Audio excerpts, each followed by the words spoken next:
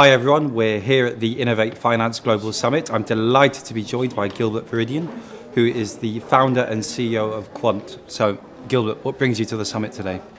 Great to be here. Um, we're a London fintech, and this is the epicenter of financial services. Um, and what we really love about this conference is you have regulators, institutions, fintechs, and the public all in the one place bringing together the epicenter of financial services again. And what topic or theme was especially important for you guys today?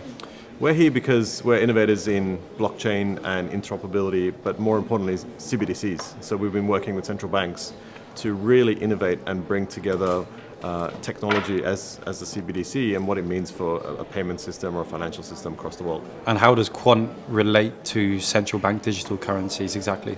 Um, we're the platform and the infrastructure that central banks and commercial banks can use to implement, pilot, and test CBDCs um, and tokenized assets uh, in an interoperable way. And so, if we think of me or just any ordinary end user, why why would I be interested in the central bank digital currency instead of just sending pounds, euros, whatever electronically? I think as um, end users and consumers uh, of money, um, we're, we're using a system that's quite antiquated and it's built on legacy technology and legacy infrastructure. So what central bank digital currencies mean for us is a new form of money that's very digital um, and it can actually do things that our previous type of money can't do. So, I mean, what kinds of things, for example? Um, money of tomorrow, which is where, where we're heading, is able to create uh, new products and new payment flows that enables us to create logic around it. So what that really means is if you want to send something uh, to another party, you can remove all the risk, uh, create conditions like if this happens, then release the money or take the tax out as I'm paying the money. So really automates a lot of business workflows and consumer needs. So if I was standing here from a traditional big bank, do you think I should be a little bit worried? No, uh, they're the innovators. So the big banks uh, in the UK, Europe, and the US, they're the ones leading the drive towards CBDCs because they're actually starting to implement what that means to their payment systems and to their infrastructure. And I think some people on the libertarian right are slightly concerned that you know a digital currency could somehow be switched on or off at will, depending on the central bank or the government. Do you think that's a realistic fear, or is that not?